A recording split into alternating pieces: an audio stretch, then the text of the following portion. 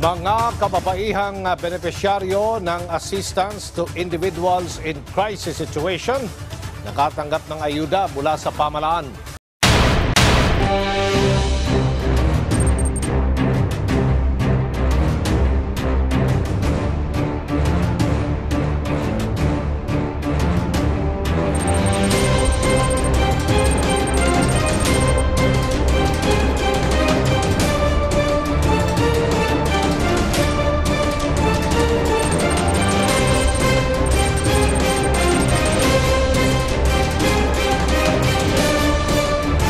Bawat benepisyaryo ay tatanggap ng tig 3,000 piso. Laking pasalamat ni Kim Sebastian, isang solo parent ng munisipyo ng Nasipit dahil kasali siya sa nabiyayaan ng programang AX ng DSWD. So as a solo parent, ako kayo tabang siya sa ako, labi na karon sa panahon garon sa pagkuan ako sa akong mga anak sa ilang financial needs, sa ilang pagskwela.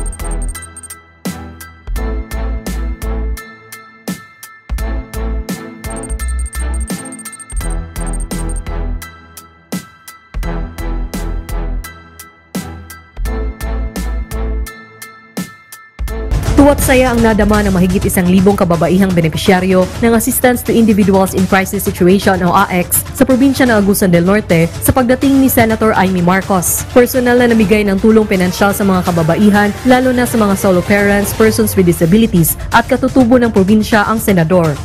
Kinilala rin ni Senator Marcos ang mahalagang papel at kontribusyon ng mga kababaihan sa lipunan kaya't karapat dapat lamang nabigyan sila ng pansin at tulong ng gobyerno. Tiniyak din ng senadora na susuportahan niya ang probinsya ng Agusan del Norte sa pamamagitan ng pagbibigay ng dagdag na pondo upang maiangat ang kabuhayan ng mga Agusanons.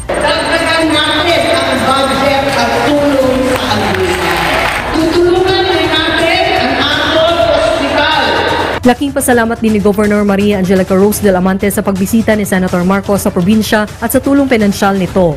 ang laki